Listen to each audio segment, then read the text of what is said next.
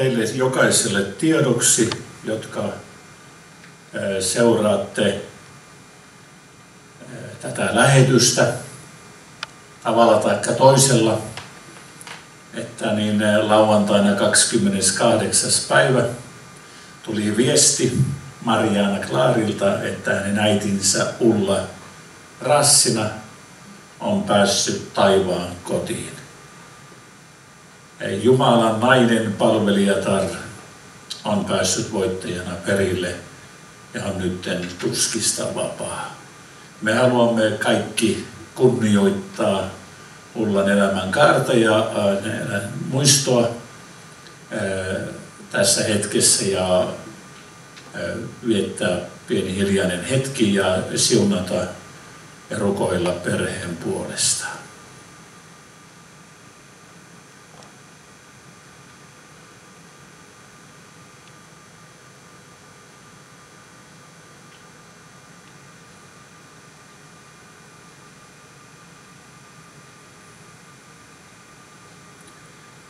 Rakas taivaan Isä, me kiitämme sinun uskollisuudesta,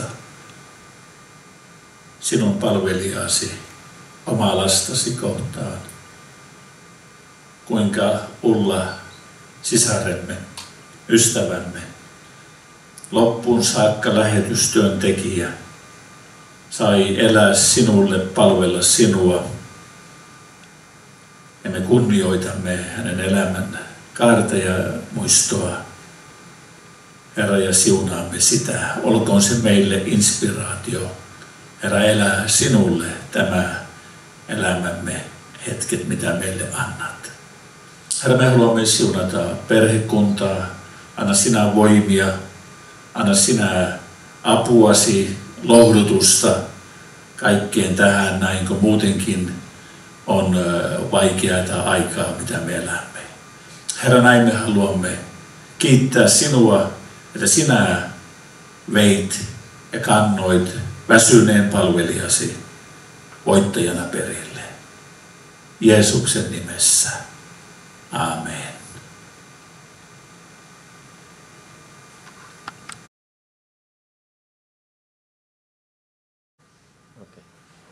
Tervetuloa ehtoolliskokoukseen mukaan. Siellä netin äärellä. Uskon, että meille tulee hyvä hetki tässä yhdessä. Näytetään aluksi tähän tulevan viikon ohjelma. Eli näette sieltä kaikki, ei tarvitse erikseen lukea.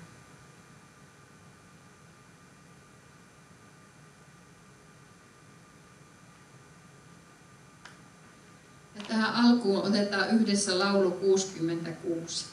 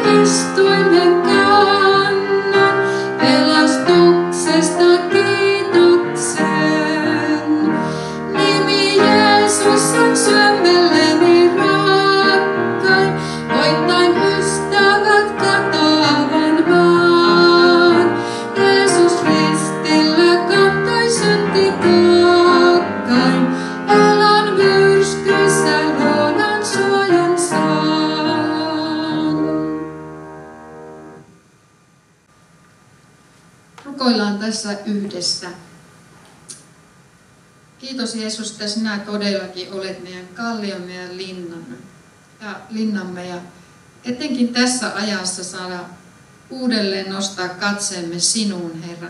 Kiitos, että meidän ei tarvitse katsoa tämän maailman aaltoja, vaan me saadaan katsoa sinua, Jeesus. Kiitos, Herra, että sinä olet meidän rauhamme. Herra, siunaa jokaista mukana olijaa siellä netin äärelläkin, Herra. Anna jokaisen tuntea sinun taivaallista rauhaa näiden melskeiden keskellä, mitä maailmassa on menossa. Herra, kiitos, että me tiedämme, että sinun tuleminen on lähellä ja me saadaan odottaa sinun tuloasi, Herra. Auta, että me voitaisiin olla kaikki valmiina, Herra. Pidä meidät hereille ja valvomassa ja auta, että meistä jokainen voisi tänä aikana erityisesti hoitaa hengellistä elämäämme, Herra. Auta, että me siellä kotona muistaisimme päivittäin kääntyä sinun puoleesi. Ja Herra, mä rukoilen sinun varjelustasi ja sinun läsnäoloasi jokaiseen kotiin. Kiitos Herra, että niin kuin aikanaan varjelit Israelin kansaa Egyptissä, niin sinä varjelet meitä tämän virustaudin aikana. Herra, kiitos me saamme turvata sinun iankaikkisiin käsivarsiisi, Herra, ja me saamme levätä sinussa. Kiitos Jeesus, että jäät siunaamaan tämän ehtoolliskokouksen Jeesuksen nimessä. Otetaan tähän jatkoksi laulu 67.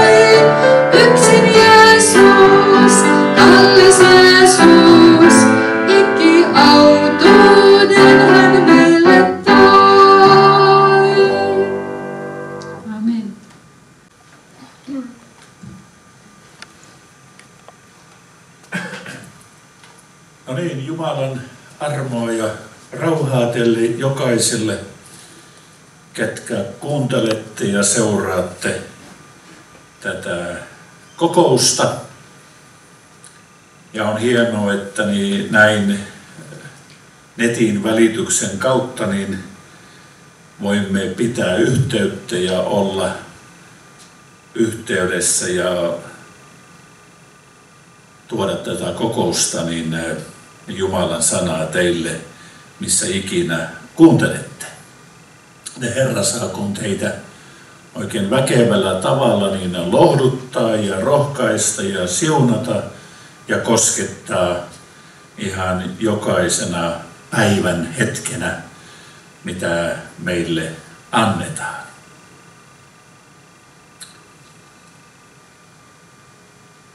Apostoli Johannes, kun hän kirjoitti evankeliumin, niin äh, muun muassa niin äh, hän oli kirjannut ylös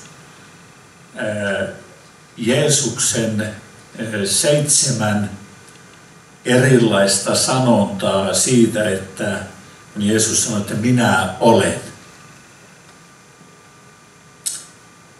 Elä, minä olen elämän leipä, minä olen maailman valkeus, minä olen lammasten ovi, minä olen hyvä paimen, minä olen ylösnousemus ja elämä, minä olen tie, totuus ja elämä, minä olen totinen viinipuu. Nämä löytyy Johanneksen evankeliumista. Ja kun hän sitten kirjoittaa kirjeitään,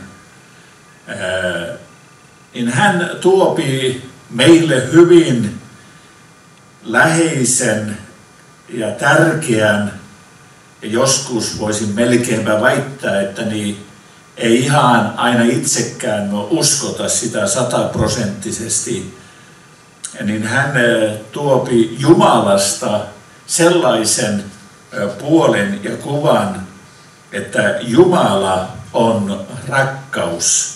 Ja hän kirjoittaa sen ensimmäisessä kirjeessään siellä neljännessä luvussa ja jakeessa 16. Jumala on rakkaus.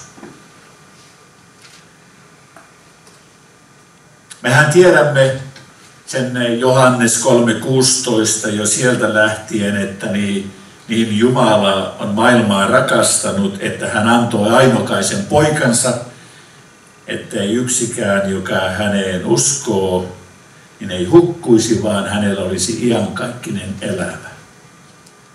Ja aivan kuin tätä siteeras uudelleen sitten siellä ensimmäisessä kirjeessään, jake, äh, luvussa neljä, ja jae kymmenen, että siinä on rakkaus. Ei siinä, että me rakastimme Jumalaa, vaan siinä, että hän rakasti meitä ja lähetti poikansa meidän syntiemme sovitukseksi. Ja tältä pohjalta on tapahtunut ää, suurin ihme minun mielestä, mitä ihminen voi kokea.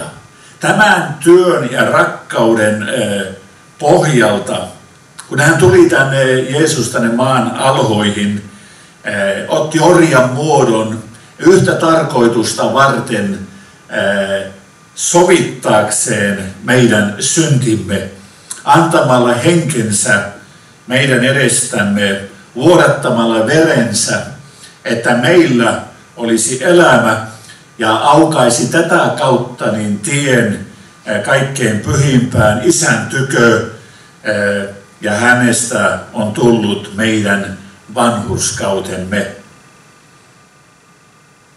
Ja tapahtuu tätä kautta sellainen ihme, mitä Johannes jo sanoi siellä ensimmäisessä luvussaan evankeliumia ja kesä 12, että jotka uskoivat nyt tähän Jeesukseen ja ottivat hänet vastaan. Hän antoi voiman tulla Jumalan lapseksi. Uudesti syntymisen ihme Jumalan hengen kautta. Ajatelkaa, meistä tulee ja on tullut Jumalan lapsia. Ja Johannes kirjoittaa tästä myöskin siellä kolmannessa luvussa ensimmäisessä kirjeessään, että katsokaa, minkä kaltaisen rakkauden isä on meille antanut. Että meitä kutsutaan Jumalan lapsiksi, joita me olemmekin. Sen tähden ei maailma tunne meitä, sillä se ei tunne häntä. Ja tältä pohjalta, koska ihmiset ja Jeesuksen täällä maanpäällisen elämän aikana eivät uskoneet, että hän olisi Jumalan poika ja että taivaan Jumala olisi hänen isänsä, he hylkäsivät hänen, yhtä lailla, yhtä hullulta se kuulostaa ihmiseltä, jos minä menen sanomaan jollekin, minä olen Jumalan lapsi. Ja ei tunneta meitä tältä pohjalta. Ja alkukiel yksi niistä sanoo minusta vielä, ää, ei ainoastaan, että meitä kutsutaan Jumalan lapsiksi, mutta sanoo jotenkin tähän tyyliin vapaasti suomennettuna, että niin hän on tehnyt meidät, sinut ja minut, omaksi rakkaaksi lapsekseen. Kaikki valtias Jumala on tehnyt sinut ja minut omaksi rakkaaksi lapsekseen. Tämän kaltaisen rakkauden Isä on meille antanut.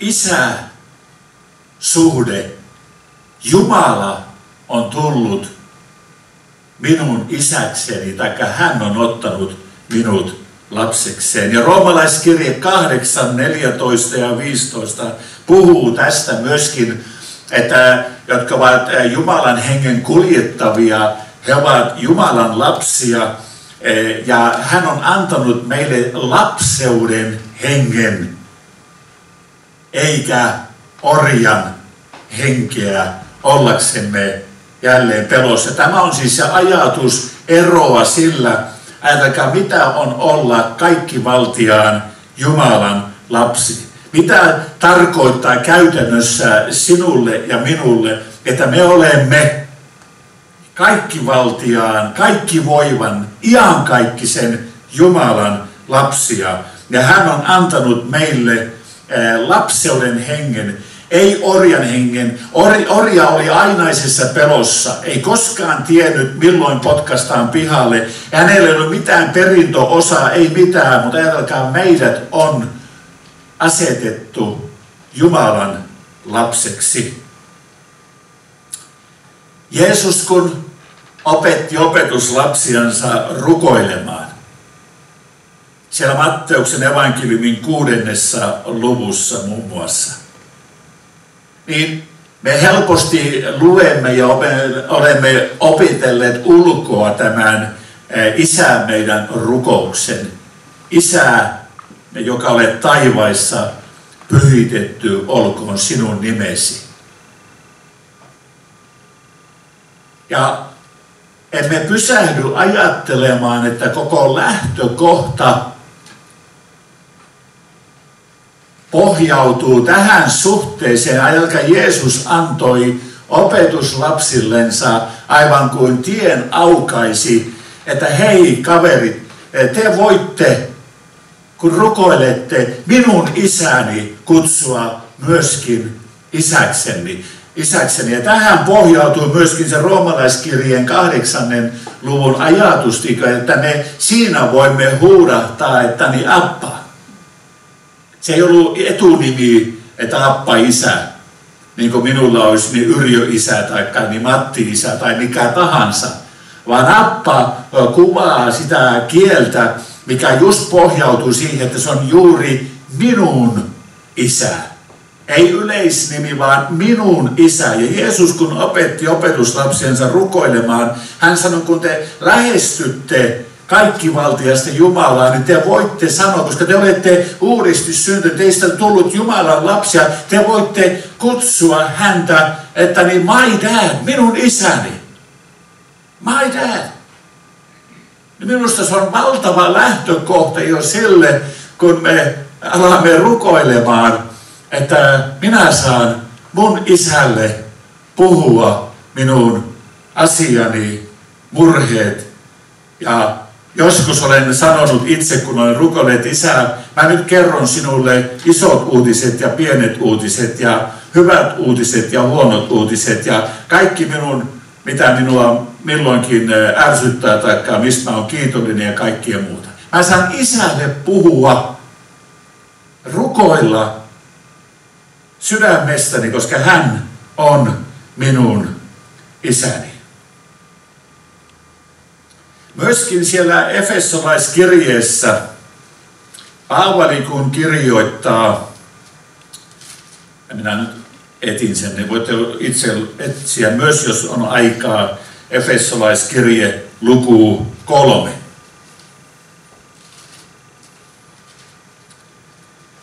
Ja Paavali kun rukoili sieltä jakeesta 14 ja 15 16, kun hän rukoili Efesolaisten puolesta, niin hän sanoi tällä tavalla, että sen tähden minä notkistan polveni isän edessä.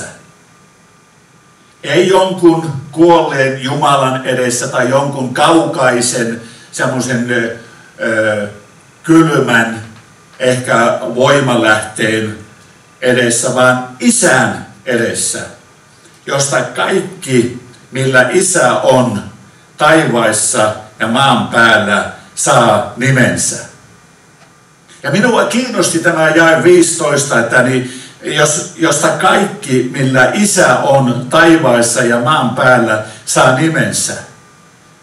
Ja oikeastaan siihen sisältyy jälleen kerran, vaikka minä en osaa mitään kieltä kunnolla, mutta niin tutkijat ovat sanoneet aramian kielellä siinä alkutekstissä yhdessä niistä sanoo, että niin, ja puhuu, että niin täydellinen isä jokaiselle ihmisryhmälle. Tai sinulle tai minulle. Minä notkistan polveni tämän täydellisen isän edestä, joka on, voi kaikille olla isä. Hän on iankaikkinen isä. Ja tässä täydellisessä nimessä minä olen saanut Jumalan lapsen nimen. Ja jae 16, ja tätä aikakautta, mitä me nyt elämme tässä ää, tällä hetkellä ja on vaikeaa ja epävarmaa ja tuntuu, että niin, yhdellä lyönnillä on kansakunnat ja yhteiskunnassa niin vietty niin nuri tai polvilleen. Niin hän muun muassa rukoili tällaista asiaa tällaisella täydelliseltä isältä, että hän kirkkautensa runsauden mukaisesti antaisi teidän sisällisen ihmisenne puolesta voimassa vahvistua hänen henkensä kautta. Ja voi kuinka minä haluaisin tänä päivänä teille, jotka kuuntelette ja olette läsnä, ja oikein rukoilla. En fyysisesti tässä voi polvistua, mutta sydämen tasolla tämän täydellisen isän edessä, jonka lapsia me saamme olla, että sinä ja minä, me saataisiin oikein sisällisen ihmisemme puolestani vahvistua hänen voimassaan. Me tarvitsemme tätä kosketusta, uskon jokainen. Vahvistua ruumiimme voiman puolesta, kun on niin paljon sairautta ja kipua. Vahvistua meidän sielumme puolesta, kokea virvoitusta, kokea rauhaa, kokea Jumalan läsnäoloa, kokea tätä turvaa. Ja minä haluan oikein painottaa ja lohduttaa sinua, että hän on sinun ja minun kanssa. Hän on sellainen isä, jolla on aikaa kuunnella sinun asiaa. Hän ei koskaan sano sinulle, että minulla on nyt liian kiire, tuu toisten tai tossa mene ostamaan karkki, minulla ei ole aikaa olla sinun kanssa. Hän ei koskaan petää lupaustansa sinun kohdalla. Ja hän haluaa koskettaa sinua tämän tässä hetkessä ja Ehkä on epävarmuutta ja ehkä on huoli lapsista tai lapsen lapsista tai miten käy ja mihin tämä kaikki ajautuu. No, me ei tiedetä mihin ajautuu, mutta minä tiedän mihin minä pääsen, en ajaudu. Me pääsemme hänen lapsensa kotia, minkä hän on itse valmistanut meille. Meillä on mahtava tulevaisuus, mahtava turva. Me olemme täydellisen isän lapsia. Ja ei ihme, jos Johannes siellä sanoo, että katsokaa. Oikein pysähtykää miettimään, minkä kaltaisen rakkauden isä on meille antanut, että meitä kutsutaan Jumalan lapsiksi. Rukoillaan yhdessä. Rakas taivaan isä, kiitos siitä, että sinä olet kaikki voipa. Kaikkialla läsnä oleva. Ihan kaikkinen. Sinä ole kaukana yhdestäkään meistä. Me saamme tänäänkin päivähetkenä tai missä vaiheessa päiväämme tahansa sanoa, että niin Appa, my dad, minulla on vaikeaa tai minua koskee tai eh, sinä innostut jopa, kun me tulemme kertomaan sinulle, että kuinka on kaikki mennyt hyvin. Ja Herra, olkoonpa tilanne mikä tahansa. Minä kiitän, että saamme olla sinun lapsia. Kiitos tästä rakkaudesta. Kiitos siitä, että Jeesus, sinä kuolit ristillä meidän puolestamme. Sinä avasit tien isän tykö. Sinä meidän puolustajamme, meidän vanhurskautemme. Herra, meidän omat ei riittäisi alkuunkaan mihinkään, mutta sinun kauttasi, sinun uskomalla saamme kokea syntien anteeksi antamuksen. Saamme omistaa tämän lapseuden hengen. Saamme omistaa iankaikkisen elämän turvan ja tietoisuuden. Kiitos Herra, sinä jäät siunaamaan jokaista. Herra, tänä aikana, kun emme pääse kosketuksiin fyysisellä tasolla toistemme kanssa, Herra, kuitenkin me voimme näin rohkaista ja siunata toinen toistamme. Olemme me kaikki samaa perhettä. Jeesuksen nimessä. Amen. Amen.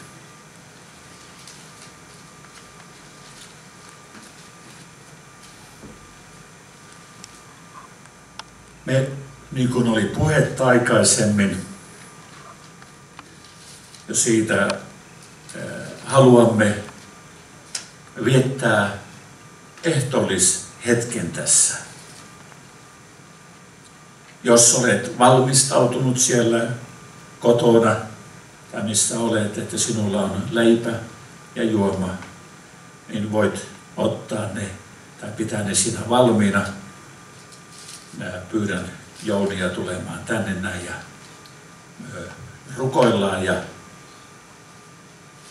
yhdessä. Minä siunataan leipä ja toi maljat ja sitten syömme ja juomme yhdessä. Käymme Herran pöytään. Mä haluan lukea nämä tutut raamatun jakeet, mitä Paavali kirjoitti ensinnäkin, että hän oli saanut Herralta sen, mikä myös olen teille tiedoksi antanut, että Herra Jeesus sinä yönä, kun hänet kavallettiin, otti leipän kiitti mursia sanoi, tämä on minun ruumiini, joka teidän edestänne annetaan. Tehkää tämä minun muistukseni. Samoin hän otti myös maljan aterian jälkeen ja sanoi, tämä malja on uusi liitto minun veressäni. Niin usein kuin te juotte, tehkää se minun muistokseni.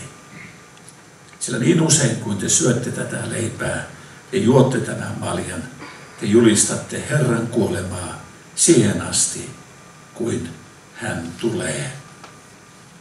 Ja vielä ihan, vaikka olet varmaan monet kerrat elämässäsi kuullut, mutta niin ajattelepa tätä valtavaa totuutta, minkä jo ää, Jesaja, profeetti Jesaja näki ja koki hengessään. Jeesuksen kärsimyksestä.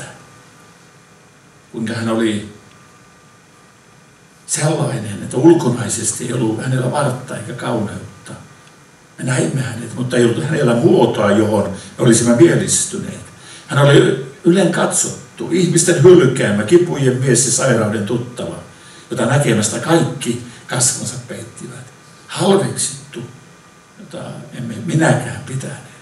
Mutta, kuuntelepa tätä, totisesti meidän sairautemme hän kantoi. Meidän kipumme hän sälytti päällensä. Me pidimme häntä rangaistuna, Jumalan lyömänä ja vaivaamana. Mutta hän on haavoitettu meidän rikkomustemme tähden, rungeltu meidän pahaintekojemme tähden.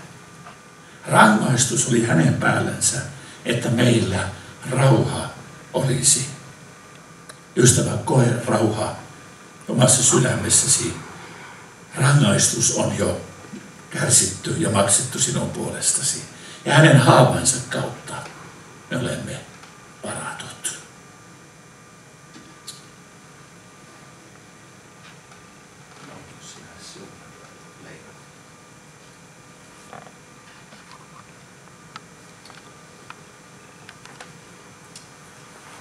Kiitos. Kiitos taivaan Isä, että saamme olla osana ottamassa tätä sinun ruumiistasi, Herra, tänä päivänä. Kiitos siitä, että sen voima on voimassa tänä päivänä kaiken tämän myllerryksen keskellä, Herra. Kiitos siitä, että sinä siunaat tämän leivän, jonka otamme ää, tässä nyt täällä ollessa sekä siellä kodeissa, Herra. Kiitos siitä, että jokainen saa nauttia siitä osallisena sinun ruumistasi, siitä mitä sinä olet meidän edestämme tehnyt ja antanut. Kiitos siitä, että sinä olit kuulijainen isän tahdolle. Kiitos siitä, että sinä alistuit siihen. Kannoit kärsit kaiken sen ruumissasi, Herra. Kiitos siitä, että me saamme nauttia tästä tämän leivän välityksellä tänä aamuna, tässä hetkessä. Kiitos siitä, että siunaat tämän meidän ja sinun yhteiseksi ravinnoksi, Herra, vahvistukseksi uskossa. Amen.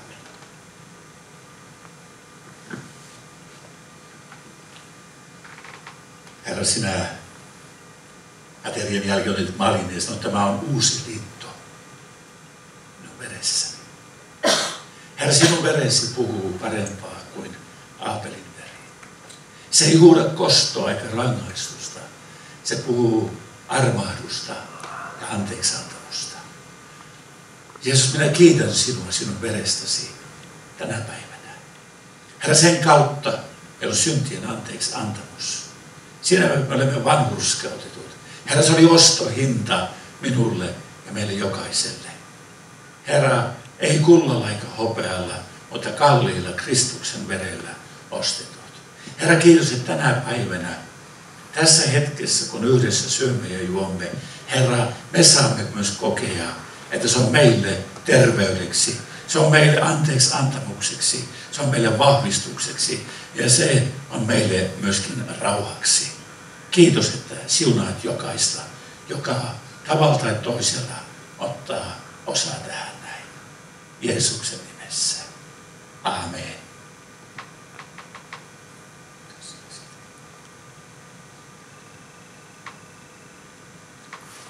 syödään yhdessä tämä leipä.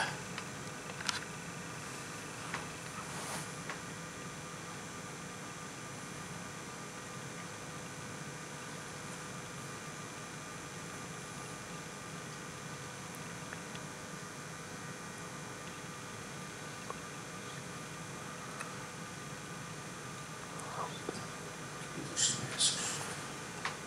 Kiitos Jeesus, että olet ruumiisen kiitos Jeesus verestäsi.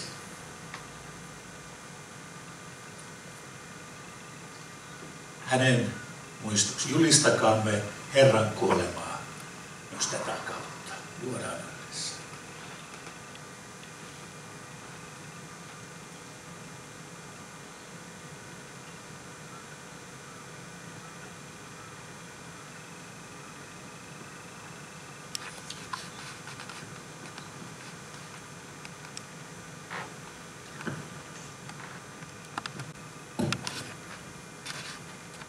ennen kuin Heliana tulee johtamaan meille loppulaulun, niin minä haluan vielä, että me yhdessä rukoillaan siellä.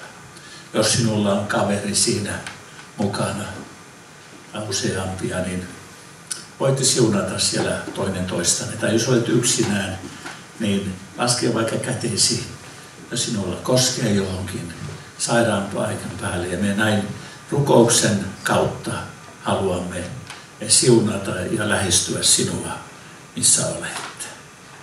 Ennen kaikkea hän haluaa koskettaa ja siunata sinua. Herra, kiitos siitä, että sinä sälytit kipuun sinun päällesi ja sairautemme. Herra, kiitos siitä, että sinä annot itsesi ruunneltavaksi. Otit rangaistuksen päällesi, että meillä rauha olisi. Ja kiitos, ettei kenenkään tarvitse kokea syyllisyyttä. Herra, koska ne, jotka Kristuksessa ovat, ovat uusia luomuksia. Kaikki se, mikä on vanhaa, on kadonnut. Herra, tänä päivänä on voiton päivä ja vapautuksen päivä ja sinä siunaat jokaista Jeesuksen nimessä. Aamen. Olkaa siunatut. Kiitos